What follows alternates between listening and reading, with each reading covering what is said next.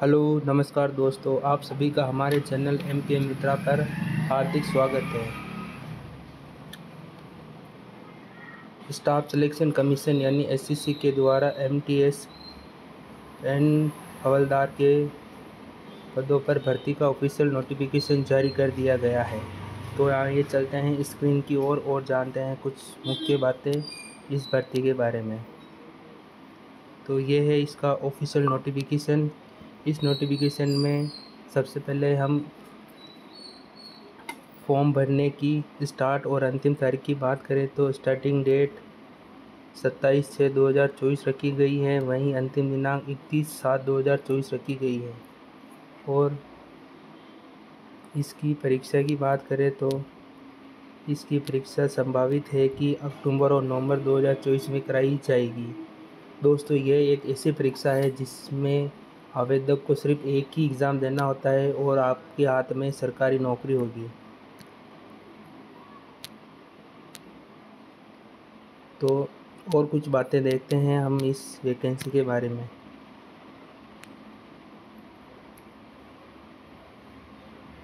यह तो हो गई इसके भरे जाने की मुख्य तारीखें। और जहाँ तक हम इसकी पे स्केल की बात करें तो इसमें पे स्केल सात है।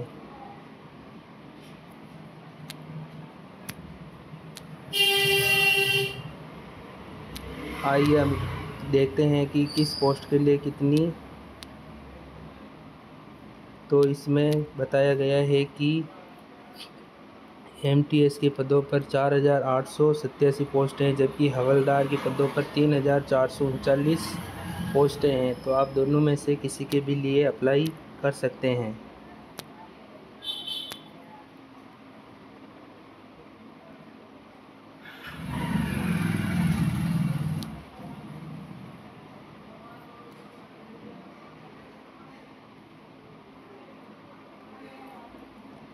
अब इसके अंदर एज लिमिट के बारे में बात करें तो आवेदक एक आठ दो हज़ार चौबीस को को अट्ठारह वर्ष या सत्ताईस वर्ष से अधिक का नहीं होनी चाहिए। आयु की छूट की सीमा की बात करें तो इसमें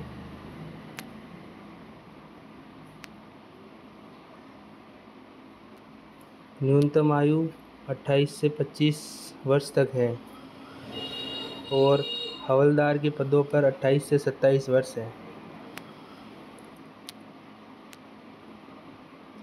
वहीं हम एज की छूट की बात करें हैं, करें तो एस टी एस सी के लिए पाँच वर्ष है सी के लिए तीन वर्ष है P W D unreserved category के लिए दस वर्ष है P W D O B C के लिए तेरह वर्ष है और P W D S C S T के लिए पंद्रह वर्ष है।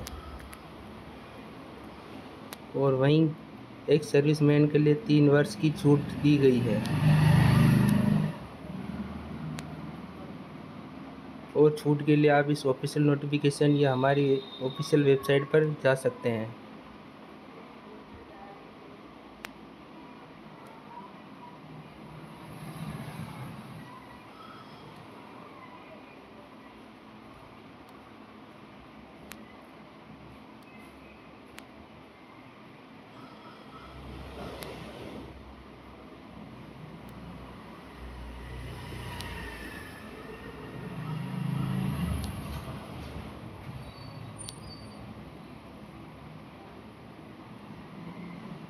एसएससी ने एक और बड़ा बदलाव किया है अपने एग्ज़ाम को लेकर।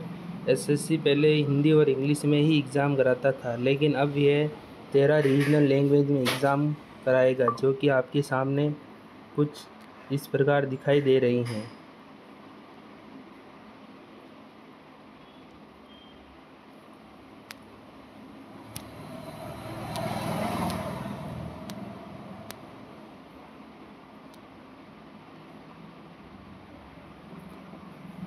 आइए हवलदार के लिए कुछ बातें जानते हैं।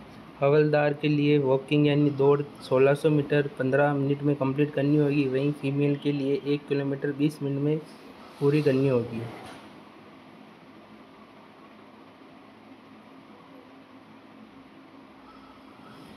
और हवलदार के लिए हाइट एक सेंटीमीटर होनी चाहिए। मेल के लिए और चेस्ट इक्यासी सेंटीमीटर होना चाहिए। और पाँच सेंटीमीटर फुलाने के बाद। वहीं महिला की बात करें तो महिलाओं के लिए एक सौ बावन सेंटीमीटर होनी चाहिए। हाइट और वेट होना चाहिए अड़चास किलो। हम आपको बता दें कि इन एम टी एस और हवलदार के लिए एग्ज़ाम एक ही होगा, लेकिन हवलदार के लिए कुछ फ़िज़िकल भी किया जाएगा।